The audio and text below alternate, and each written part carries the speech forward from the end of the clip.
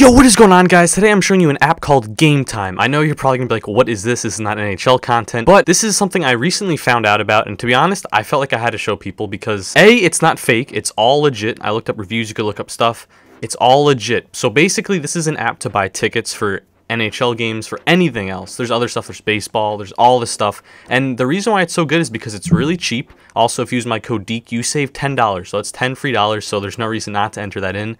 So when you go to buy the tickets, it says enter promo code, enter D-E-K-E in all capitals for the promo code.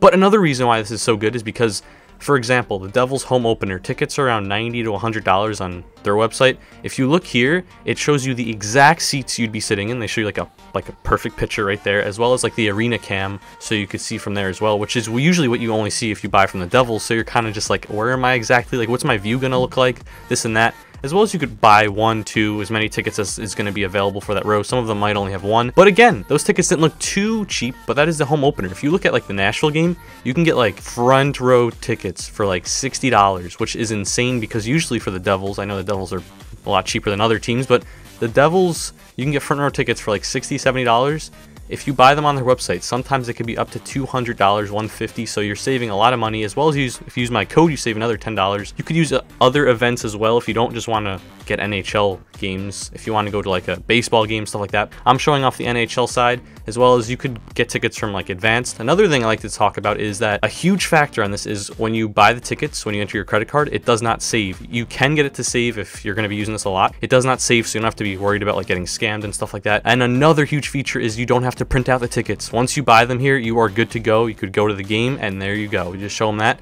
Once again, this app is called Gametime. It is on the Apple Store as well as the Android Store. If you guys did enjoy this video, please leave a like and tell me your thoughts about this. It's a very good program. It's 100% legit, by the way. You can look up all the reviews. I've actually found people and they've used them or their friends have used them. So I'm really excited to try this out. And again, use the code DEKE for $10 off, not 10%, $10 off. Hope you guys enjoy this video. I will see you guys next time. Back to my.